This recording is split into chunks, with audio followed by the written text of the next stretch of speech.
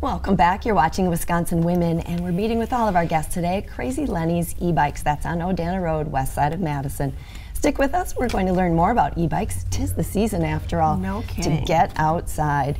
Right now, though, we're talking bath bombs, and if you're one of the two and a half million views of the making of the world's largest bath bomb, you probably know what goes into those things and what gives them the fragrance and the fizz of that 2,000 pound bath bomb. If you missed it, though, we've got someone here that's going to share all the inside scoop on what goes into those. Right now, this is Alyssa Krebs. She's the owner of L&L Bath Bombs. Thanks for joining us. Yes, thank you for having me. So when they rolled this uh, giant bath bomb into a swimming pool to see what happened, they said, "Don't do this at home." and you are doing this at home for your business, Yeah. and you brought some ingredients to show us how you do it. What did you bring in? Yeah, so I just brought some some of them, not everything. Um, just want to bring some things to kind of show everyone what some stuff I do put in them. This is behind the scenes Yes. action here. Yeah, yeah. So this first one is one of my scents that I use. Um, it's not open, so you can't smell Aw. it, but yeah. Country apple. Yes, Oh, that's one one of of my favorites. ones, isn't it? Wow. Mm-hmm. And the scents that you have on these bath bombs are amazing. Yeah. So it's got to be hard to choose. Yeah, it, it is really hard to choose. Does your house smell really good? It does. It does. I'm used to it, but anyone that comes in there is like, oh, it smells really good in here. Oh. so, Yes. yeah.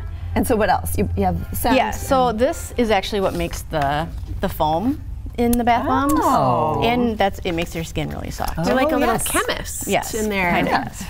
Sodium lauryl sulfoacetate. Yeah, Hey, sure. good, good Yes. goodness. Sure. Oh goodness. And, And then- these look nice and colorful. These are fun. Yes, those are all the colors. Um, that one's a neon color. Oh, so that was probably for this one. I said, yep. Okay. Makes Cool. sense.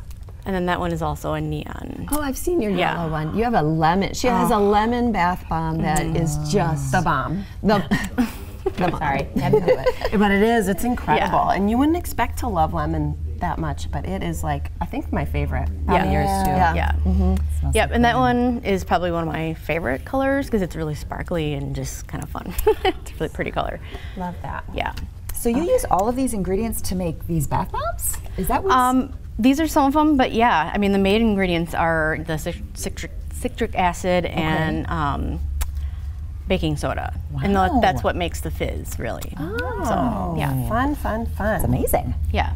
So, how did you decide when you started what ingredients to use? How did did you have to do some back research, or how do you pick? Yeah, I mean, obviously I started just by looking at random recipes, but once I started doing it, I realized I wanted to get like quality ingredients and not just buy like cheap stuff. So Yeah. um, so really, I mean, I just kind of did a lot of research and kind of just And as you go along and you try and you decide Yeah. that, yeah, I like this way better. Is there anything new that you've been uh, incorporating? Well, I'm thinking about actually starting to put coconut oil, which is Oh, that is, one. Is that what this is? Because this is a white bath bomb. that is just a coconut scent. It doesn't have any oil in it. okay. Um, but I thought about, some.